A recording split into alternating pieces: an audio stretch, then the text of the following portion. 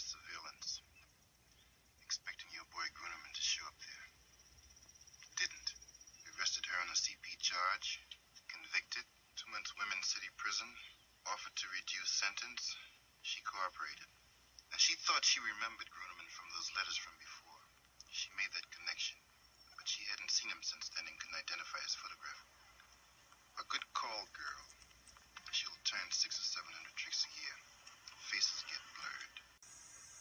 do you know about Chauvin? Like I said on the phone, that's when told me everything. How he got the money out, how he left a map with his cousin Alex, and how Alex Chauvin has the combination to the vault in his head.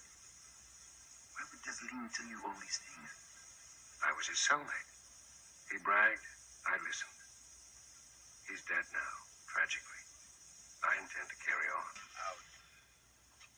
Very softly.